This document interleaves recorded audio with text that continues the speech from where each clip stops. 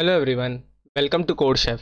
Myself Jwala Chorasiya and today we are gonna solve a problem which came in CodeChef July Cook-Off and the problem level is easy and the problem name is XOR permutation. So let's start with reading the problem statement. So problem over here says that Chef has received a challenge for which he needs your help. Given n, find a permutation p of number 1 to 2 n such that p of i XOR of p of i plus 1 is not equal to p of i plus 2 where i lies from 1 to n minus 2 where the symbol denotes bitwise XOR operation. If multiple such permutation exist, print any. If no such permutation exists, print minus 1. Note that a permutation of length n is a sequence of n integers p equal to p1, p2 till pn such that every integer from 1 to n appears or inclusive appears in it exactly once. For example, 25413 is a permutation of length 5 while 25213 is not because as you can see for length 5 all the numbers till 1 to 5 is included over here but for length 5 it is not included over here. Let's see the input format First line will contain t number of test cases. Then the test cases follows. Each test case contain of a single integer as input n. The length of the required permutation. Output format. For each test case, output in a new line. n space separated integers denoting a permutation satisfying the condition. If multiple such permutation exist, print any. If no such permutation exists, print minus 1. Constraints. For t, it lies from 1 to 500 and for n, it lies from 3 to 10 to the power 5. So that's why our n will be from 3 and sum of n overall test cases does not exceed 2 to 10 to the power 5 this is the sample input and output. Now let's check. Test over here. Okay. So given input was like this for us. Uh, first of all it was given like this. 4 3 5 10 and 22 and the question says uh, question asks that that p of i you have to make a permutation of length n such that p of i XOR of P of i plus 1 should not be equal to P of i plus 2.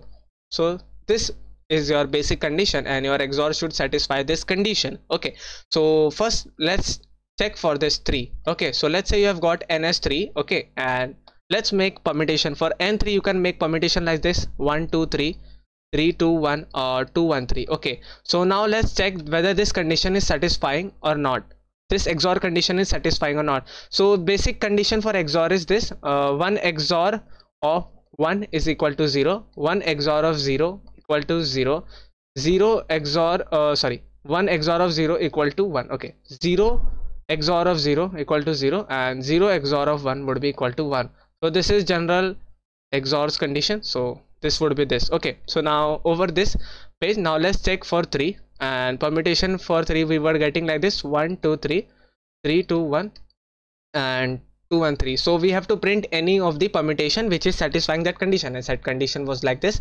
P of 5 xor of p of i plus 1 is not equal to p of i plus 2 so when i will do xor of this. So let's say my p of i is this and p of i plus 1 is this. Okay. So p of i is this. So 0 0 1 is 1 and for 2 it would be 0 1 0 when I will do XOR of this the XOR of this would be 1 1 0 so when I will see I am getting 3 so therefore P of I XOR of P of I plus 1 is equal to P of I plus 2 so therefore this condition is not satisfying for this permutation. So now let's check for this permutation. 3 and 2 so P of I is this and P of I plus 1 is this. So 0 1 1 and for 2 it would be 0 1 0 so it would be 1 0 1 so 1 0 okay. So 0 0 1 i am getting when i do xor of this. So this would be this and i am getting this. Okay so zero so this uh, again this condition is not satisfying because i am getting it equal to p of i plus 2 right? So my answer would be not for this condition. And when i will try to check for this condition itself so still it would be equal to 3 okay? When i will do, do 2 xor of 1 it would be equal to 3 so okay so for for n for length n equal to 3 my condition will never satisfy. This condition won't never will never satisfy. Okay.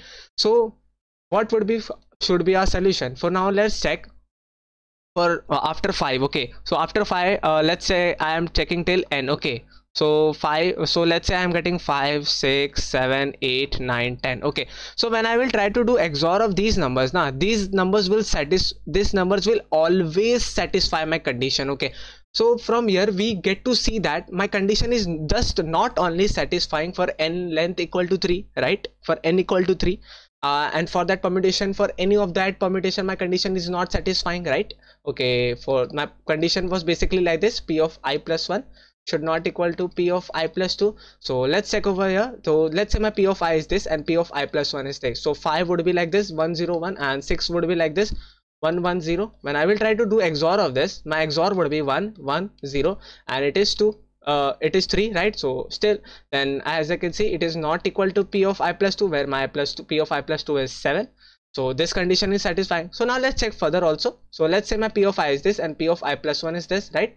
So it would be like this okay so 1 1 0 and 1 1 1 i'm doing xor of this. Okay so it would be 1 0 0 it is coming 1 and p of i plus 2 was for both. It was p of i plus 2 was 8 so still it's satisfy my condition which is well, yeah so as you can see that from this observation we get to see that my condition is just not only satisfying for n length equal to 3 and after on it is satisfying for all the length. Okay so from here what we can see what we can do we have to just arrange those length in such a way that my condition is satisfied. So what we can do let's say i am getting n equal to 5 so for n equal to 5 i have to uh, inclusive all the numbers from 1 to 5 so what i can do what uh, i will just simply arrange first four numbers like this. 1 3 4 2 and after on I just I will just append 5 okay. So when I will do the this condition over here my condition was this this p of i xor of p of i plus 1 is not equal to p of i plus 2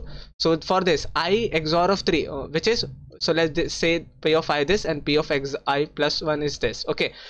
So 0 0 1 and 0 1 1 okay. So it would be 0 and 1 okay and 0 so i am getting as 2 but my p of i is p of i plus 2 is 4 so this condition is satisfying over here. So in this way when i you will try to do a dry test dry run over here you will get to say that this this arrangement is set this permutation is satisfying my condition.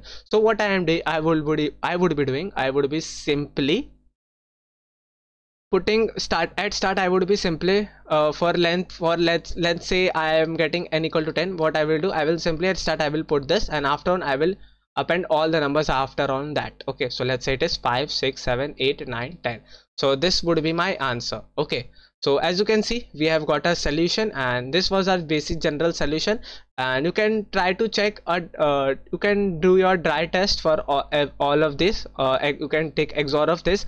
This will satisfy me this condition. Okay. So now let's check uh, let's see this what would be a pseudo code for it. Uh, pseudo code for code for it would be like this. If my n is equal to equal to 3 i will print simple minus 1 else what I can do I will print 1 3 4 2 and after on I will simply append for i from i is equals to 5 to i less than equal to n till i plus plus okay and I will simply print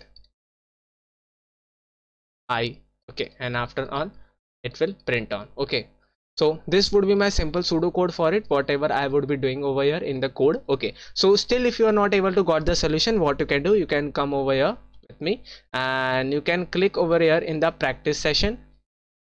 Okay. So let's come over here practice problem set. Okay. So this is the practice problem set and you can click over here. Uh, let's me select the problem level of this. Let's say it is 1 to 1000 okay okay so i am selecting this problem adjacent sum parity. And what you can do you can first of all try to read the problem and try to do the code on your own. And if you were still not able to understand the problem and write the code uh, what you can do you can come over here and click ask a doubt. And as you will click over here you can see a ask a pop-up is coming over here saying ask a doubt click over this and you can start a chat with a doubt solver and, your doubt would be solved instantly okay? So now let's go to our problem statement and let's have a short recap of it what we would be doing in a code okay? So our question was saying that you would be given n and you have to find a permutation p such that this condition which is saying that p of i xor of p of i plus 1 should not equal to p of i plus 2 so when we saw that for length n equal to 3 this condition will never satisfy. And after on we check that from 5 till n it is satisfying for all the permutations. Okay so what we got to know that we just have to work for that n equal to 3 till. Okay so what we did we just arranged till 1 1 3 4 2 in such a way that this condition is satisfying. After all i am just appending all the numbers. So this what be my solution and approach for this question. And now let's go for the C++ code for it guys. Okay. So okay so this is the simple C++ code for it. I did input first of all I took input for n.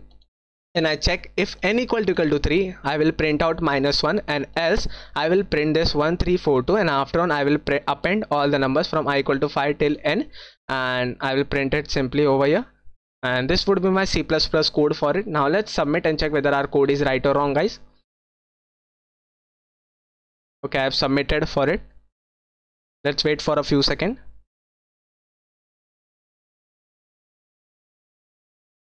Okay so I have submitted and now let's check whether a solution is right or wrong.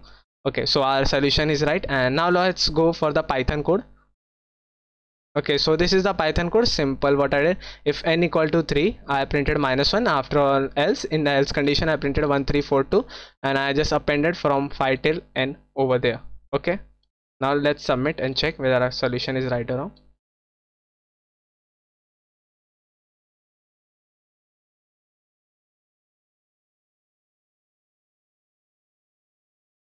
Okay guys we have got our solution is right and this was our simple code for this problem. And thank you so much guys for watching our channel videos. And let's meet in the next video. Thank you. Bye bye